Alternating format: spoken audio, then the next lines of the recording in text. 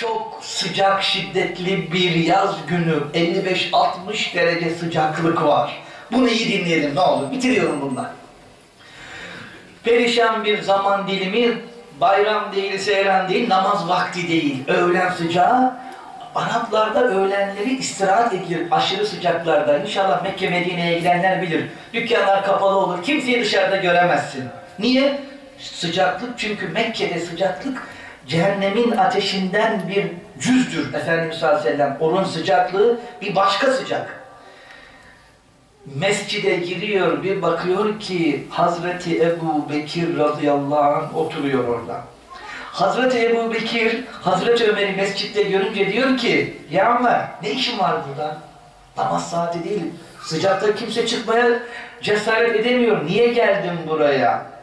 Hazreti Ömer Efendimiz buyurdu ki radıyallahu anh el Ne demek? el Çok açım be dedi. Açlık beni buraya getirdi. Hazreti Ebu Bekir bunu duyunca gözleri doldu. Dedi ki, vallahi beni de buraya getiren şiddetli açlıktır. Çok kısa zaman sonra içeriye Muhammed Mustafa geldi sellem. Damarında biraz kan taşıyan, biraz insaf sahibi adamın tir tir titremesi gereken bir hadise. Bu yazıyı gönderen arkadaşına teşekkür ediyorum. Sohbeti bitirecektim. Resulullah onlara baktı. Ne işimiz var dedi. Namaz saati değil bu sıcak zamanda. Efendimiz İmam Kandek'le bir anlatıyor. Hayatü sahabenin sahibi. Hikaye anlatmıyorum. Ne işimiz var burada? Ya Resulallah açlık bizi buraya getirdi. Efendimiz boynunu büktü ve buyurdu ki Allah'a yemin olsun beni de buraya getiren şiddetli açlıktır.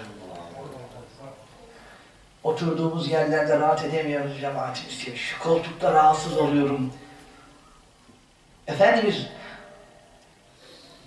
açlıktan duramıyor ayakta biz tokluktan rahatsız oluyoruz cemaati müslimin. Öyle ki o günlerde Peygamber Efendimiz sallallahu mescitte namaz kılarken namazı oturarak kılıyor. Sahabe-i kiram hep oturdular. Namaz bittikten sonra Peygamberimize yanaştı bir tanesi dedi ki ya Resulallah namazı oturarak kıldınız. Yani bir bir vahiy mi geldi? Yeni bir yani bir şekillenme mi var? Bir şey mi var? Namazı bundan sonra nasıl kılacağız? Hayır. Namazlar kesinlikle ayakta kılınacak. Ama kaç gün var ki bir canlının boğazından besin olarak geçen hiçbir şey kaç zamandan beri boğazından geçmiyor. Vallahi ayakta duracak takatim kalmadığı için namazı oturarak kılmak zorunda kaldım. İyi akşamlar.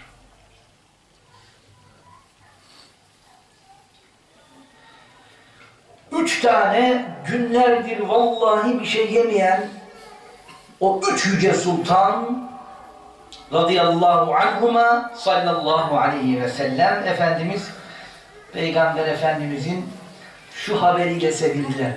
Hadi kalkın, hadi kalkın. Eba Eyyub el gidelim. Yahu bu zatın hakkı ödenir mi ya? Ya nasıl bir vefasız insan oldu ki unuttuk Resulullah'ın en büyük emaneti Eba Eyyub el Ensari'yi unuttuk cemaat-i müslimin. Ya unuttuk Eba Eyyub el Ensari'yi. Ne kadar ne kadar vefa ehli olmak lazım cemaat-i müslimin. O büyük zat. Hadi gidelim. Efendimizin zor, hep en zor zamanlarında. Bakın tarihe bakın. Nedir? Uhud, Hendek. Resulullah sağ, sağına soluna baktığında mutlaka Ebu Eyyub Ensari vardır. Peygamberimizin girdiği bütün savaşlar, bak bir tane istisnası yok. Hayber'de bile Ebu Eyyub Ensari yanında. Böyle bir zat. Çok istedi Resulullah'ın yanında paramparça olmayı ama allah Teala nasip etmedi. O mis kokulu Resulullah'ı, türbesini, Mekke'yi, Medine'yi, Kabe'yi bıraktı. İstanbul'a geldi. Niye?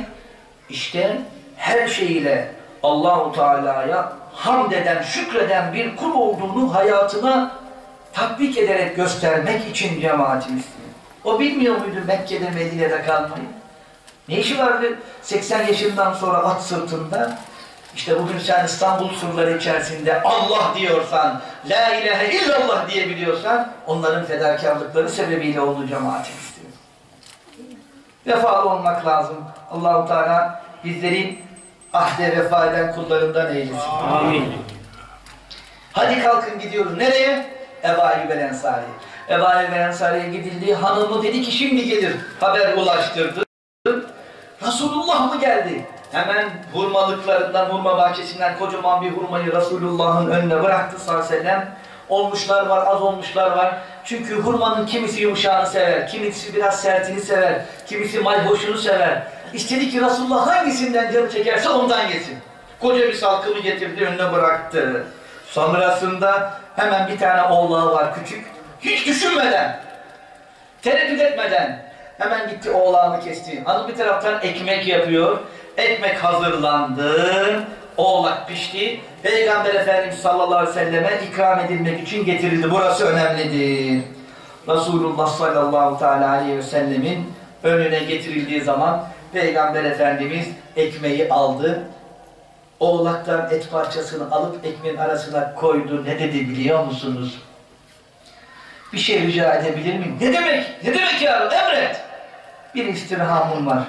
Allah'a yemin olsun ki kızım Fatıma, Hasan'ın, Hüseyin'in de kaç günden beri bir şey yemiyor. Bu ekmeği ve eti ona götürür müsünüz? Biz ne kadar şükredelim kurban olduğum kardeşlerim. Ne kadar hamd edelim Allah'ımıza.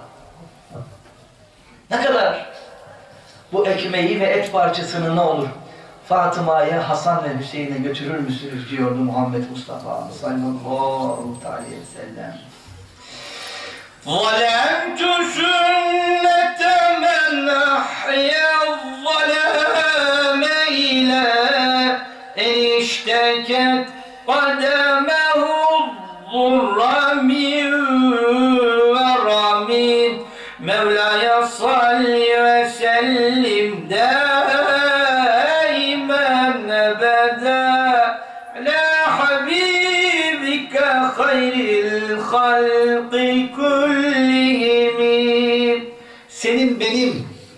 rahat etmem için, sana bana şefaat edebilmek için sabahlara kadar gelmiş geçmiş günahları affedildiği halde namaz kılıp Allah'a hamd, sena, şükür secdesi yaparken ayakları şişen Muhammed Mustafa'nın sünnetlerini terk ederek ona en büyük kötülüğü zulmü ben yaptım diyor cemaatimiz diyor. Ya şükür Allah'ın verdiği nimetleri salih amellerde kullanmanın ve Resulullah'a ittiba etmenin adıdır. Yapmayalım cemaatimiz. İttiba edelim Efendimiz sallallahu teala aleyhi ve selleme. Fatıma annemize götürdüler. Sıra geldi peygamberimize. Şimdi Efendimiz sallallahu aleyhi ve sellem yiyor, bir lokma yiyor, gözünden yaş akıyor. Bir lokma yiyor, ağlıyor. Sakalı şerifleri ıslandı. Bu sefer etrafındakiler dediler ki, Ya Resulallah, neden ağlıyorsunuz? Yarın kıyamet gününde Allah Celle Celaluhu'nun bizi hesaba çekeceği nimetler işte bunlardır. Ya Resulallah, kaç gündür yemek yemediniz, biz de yemedik. Bu nimetler bize cömert bir din kardeşimizin evinde misafirken verilmiş. Yani bu şartlarda biz bu haldeyken yediklerimizden de bir hesaba çekileceğiz. Efendimiz ağlayarak evet dediğinde onların da boğazına düğümlenen bir lokmalar, onlar da ağlamaya başladı. Yiyemediler cemaatimiz. Yiyemediler.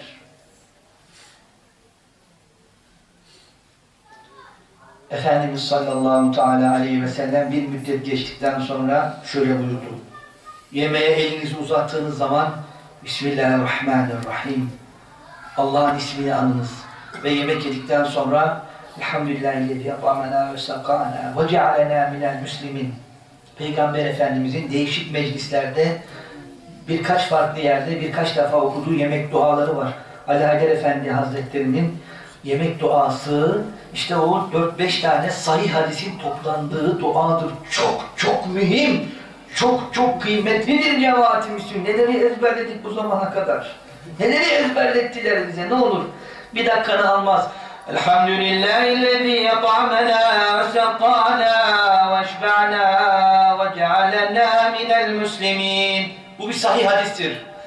الحمد لله الذي أنعم علينا وأفضل وجعلنا من المسلمين Başka bir yerde bunu yapmış Efendimiz sallallahu aleyhi ve sellem. Bu da sahih bir hadis. الحمد لله الذي أسبغ علينا نعمه ظاهرة وباطنة Bu başka bir hadis. الحمد لله حمدا يوافي نعمه ويكافي مزيده Bu da başka bir hadis-i şerif. Başka bir yemekten sonra Resulullah bu duayı yapmış. Ve buyurmuş ki sallallahu aleyhi ve sellem her kim yemeğe elini uzattığında böyle Bismillahirrahmanirrahim der ve bu yapmış olduğu duayı okursa o yemiş olduğu yemekten Allah onu hesaba çekmez.